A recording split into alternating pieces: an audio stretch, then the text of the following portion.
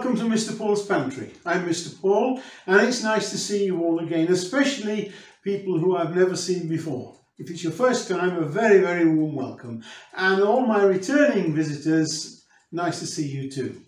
Well, today uh, is right in the middle of the asparagus season here and I have a wonderful bunch of asparagus to go at. These were picked only this morning and they couldn't be any fresher. I'm going to show you a couple of things that you can do with them quickly without a lot of fuss. Make a nice lunch, a nice breakfast, a nice afternoon snack, or you can make them into a meal.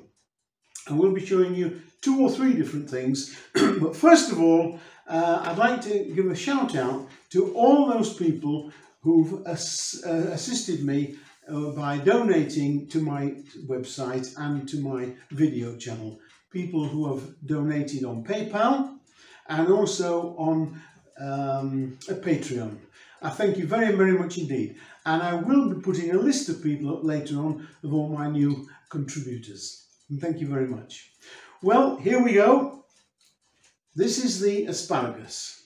Now for this first little recipe, uh, I'm going to use one, two, three, four, five, probably six, probably eight, probably eight spears of asparagus. Now, the first thing you have to do with asparagus is to get rid of this woody end piece here. This is very, very woody. And uh, I've watched lots and lots of chefs and cooks and things on television, and the very first thing they do is get a knife and cut them straight off like that. Well, I'm not going to do that. I'm going to show you a different way of finding out which is the stringy bit and which is the tender bit. First of all, we take one of the spears, and I'll show you. Just gently into the camera view for you, just gently start at the rough end and bend it like that. And as soon as you get to where the asparagus is tender, it'll snap, just like that. That's the woody bit, that's the tender bit. That's what we're looking for now, those two pieces. I can't find, there we are, I want to get you get into the camera shot. So I'll do that again, just gently, keep going like that, moving up the stem until all of a sudden you find it will just snap off. There we are. That means you've got the woody bit there and that's the tender bit you're left with. Just go through doing that with all the pieces that you're going to use. That way you're not cutting off too much and you're not leaving any of the stringy bits on your edible piece. There we go.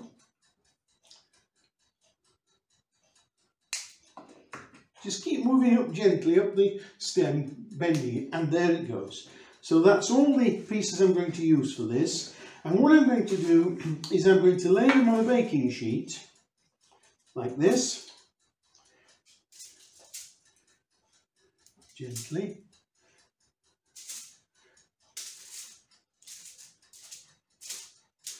Just lay them on the baking sheet and then I'm going to brush them gently with a little olive oil. You don't need to put a lot on, it's just really to help them along. There we go. Now these are going to go in the oven for about eight minutes, that's all. So for this we're going to need some bread. I'm just going to use two pieces from a long loaf like that. This is sourdough bread I'm using, but you can use any bread you want. Okay, so we'll put that to one side.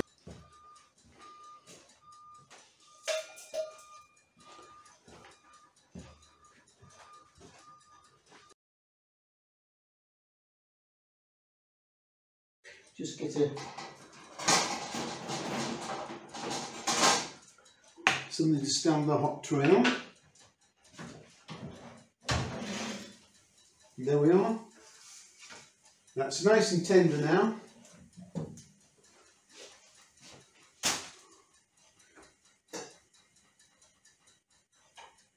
And what we need to do is to very simply, it's a bit hot, two, three,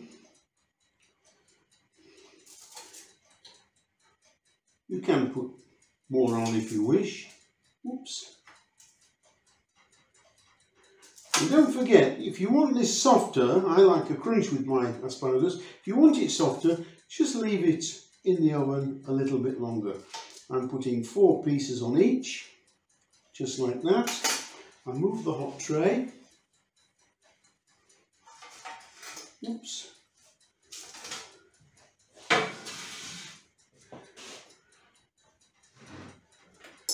What I need to do now is put the parmesan on. So I'll just move those to a plate.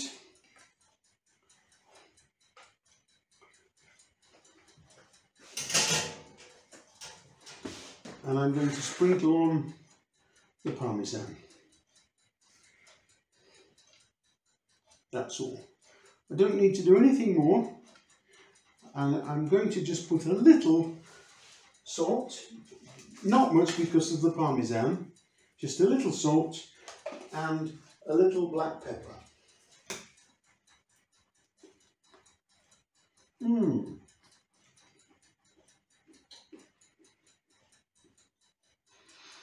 That really is delicious.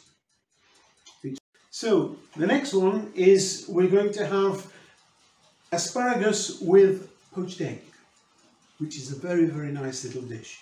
So We'll first of all take the asparagus, which I've prepared, taking the rough ends off, and we'll pop it in the pan and just blanch it for about three minutes.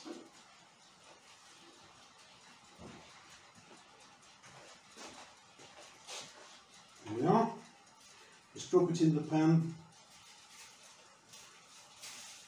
Make sure they're not overlapping or sitting in the water and we just need to blanch that now for about three minutes, that's all.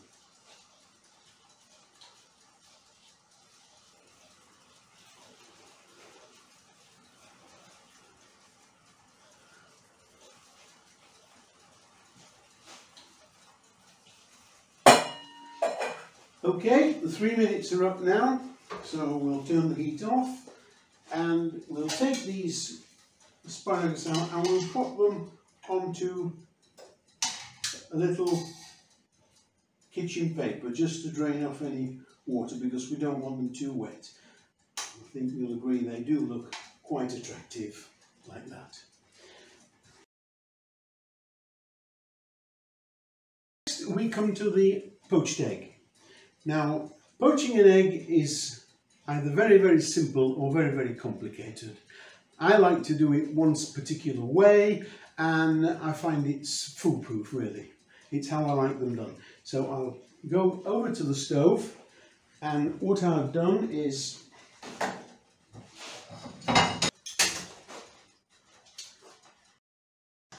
So what we've got here is a pan of water that I've brought to the boil and turned it down to a simmer. We don't want it boiling very, very hard. And I'm going to add to that a tablespoon of white wine vinegar, just like that.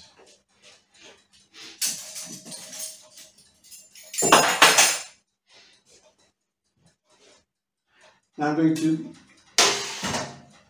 get the spoon and I'm going to whirl around the water and get it working into what a vortex, like a whirlpool, like that.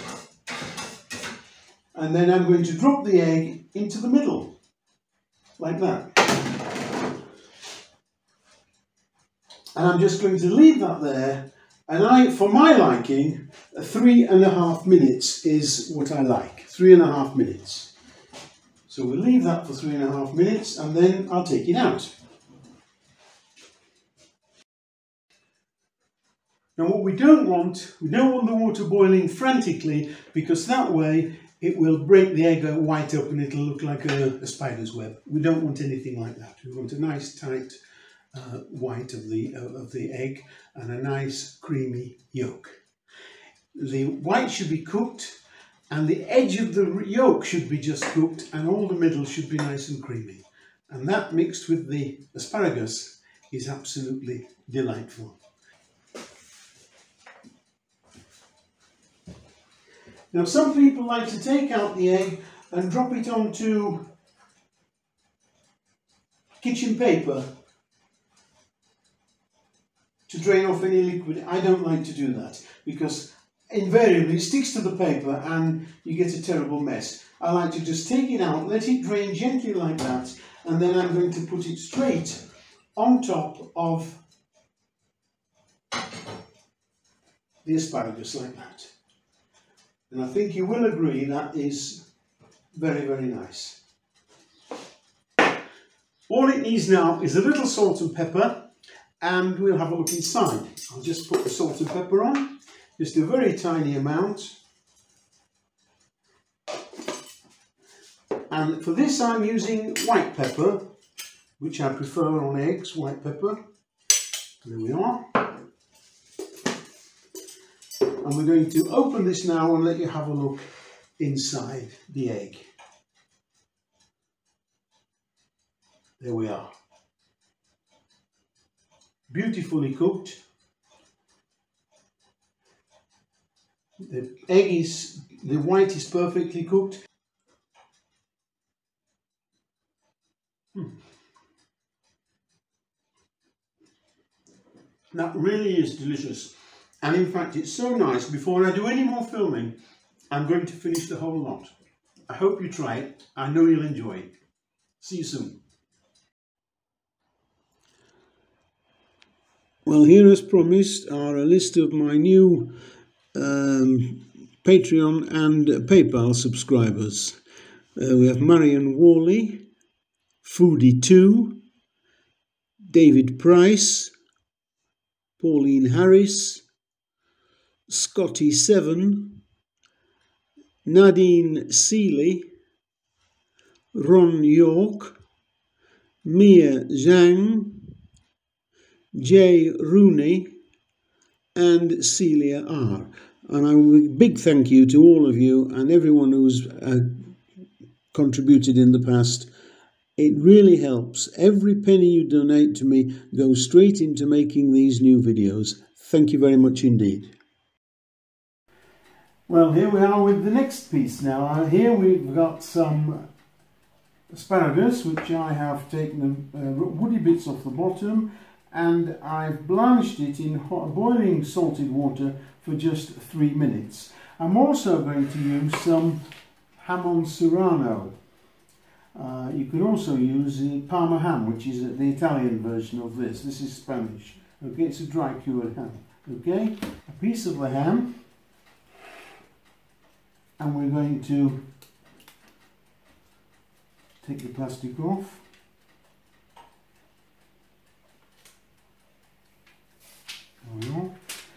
And all I'm going to do is to roll the, uh, the uh, asparagus in the ham. Just it's stuck on the plastic. It's like that to stop it all sticking together. We're just going to roll it like that gently if you can see that I think you can see that okay. It's rolled inside. And we're going to place that onto a baking sheet just like we did before. It's just going to go onto the baking sheet like this. I'll do the rest of them and then I'll get them in the oven. I'll show you what happens next Okay, there we go. Just one more to do. And this really is a delightful, either a starter or a little afternoon snack. It certainly makes a good starter for a meal as this. There we go. Now if you wanted to, you can just put them in the oven like that. Or you can spread, spread a little olive oil on them. Or what I'm going to do is I'm going to just take a little parmesan and I'm just going to grate a bit of parmesan just along the top like that. Just gently. Doesn't matter if some goes into the tin because we've got some foil in there. It won't make any difference. There we go. Just one more there. Just a nice little bit of hammer up um, cheese on top of there. And that's going to go into the oven now for about eight minutes. Eight minutes at about 180. Okay. I'll put those in the oven and I'll come back and show you when they're ready.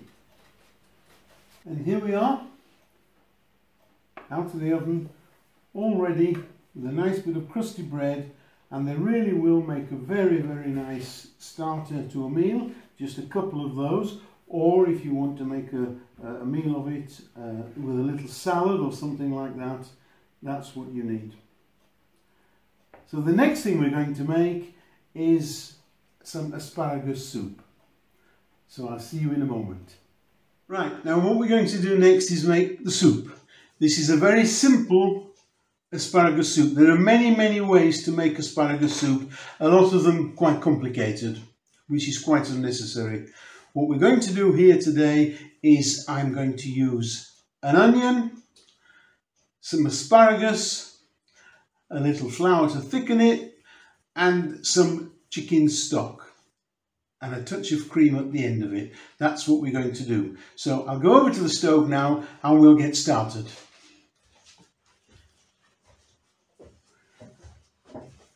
So here we are. The first thing we're going to do is I'm going to pop in the butter. Pop in the butter and as soon as that starts melting we're going to throw in the chopped onion.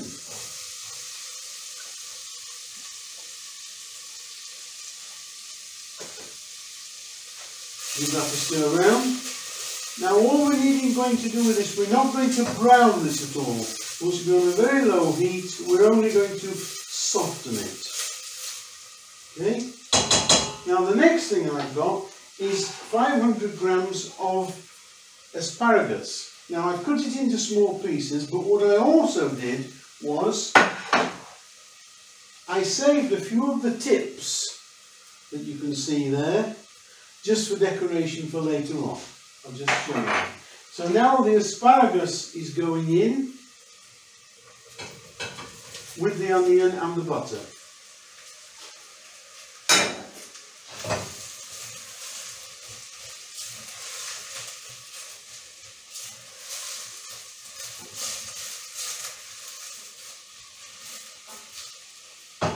That's going to go on a very low heat now and I'm going to pop a lid on.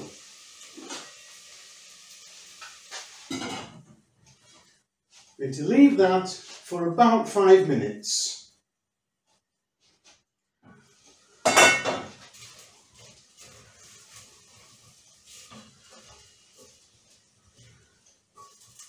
Now they're just starting to soften a little now.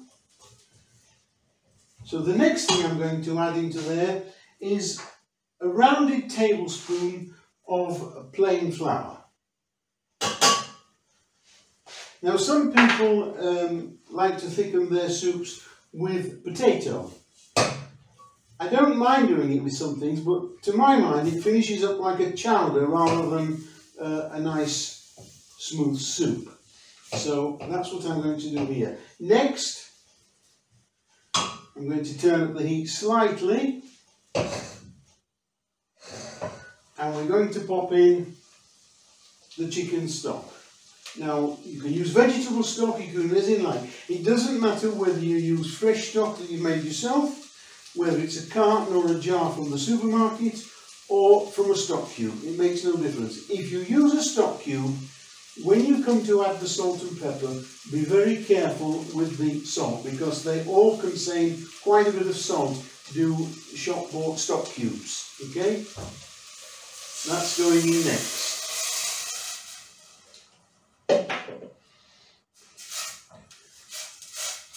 I'm going to turn that right up now and bring it to the boil.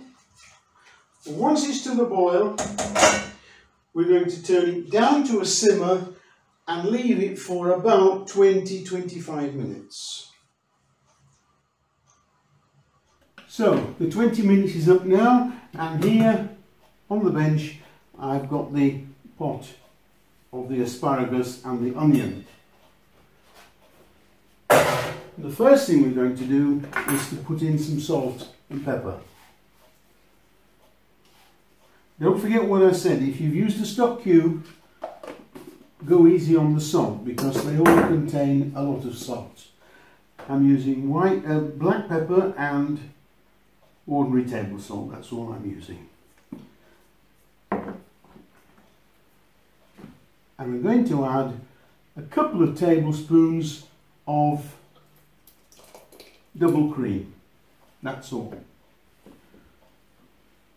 and then I'm going to blend it. Now you can use it in a, uh, a food processor, blender or whatever you want. I'm trying this out today.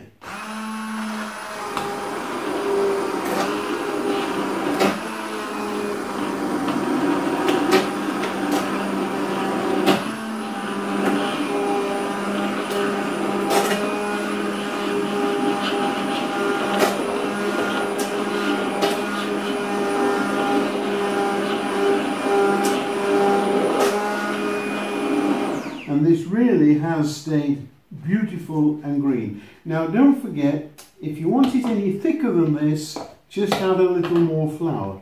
If you want it, don't want it too thick, add less. I like it just like it is now. I'll show you in a moment. So, this is the consistency. I like it.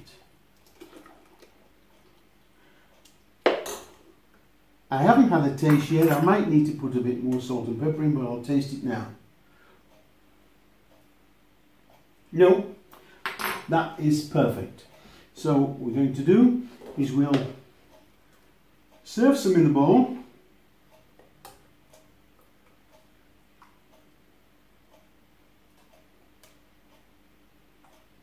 Like this.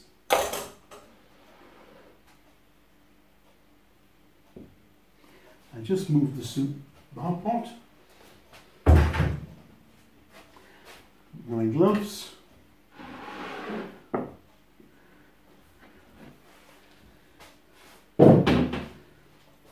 And then I did tell you I saved some of these little tips just to put in as a little extra they're sinking because mine isn't too thick but it doesn't matter. You can put a little more cream on if you want if you want to put if you'd like to put um, just get a clean spoon.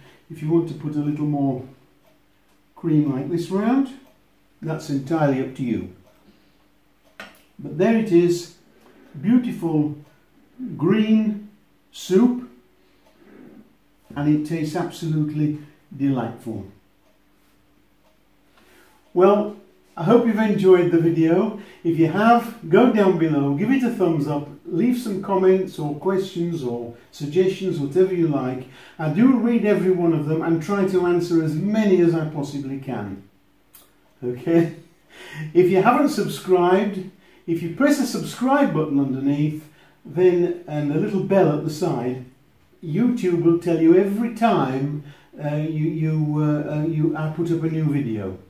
And just as some breaking news today, I've just learned from YouTube, I now today have a 30,000 subscribers, which I can't believe. So it's Mr. Paul saying bye for now, and I'll see you next time. Bye!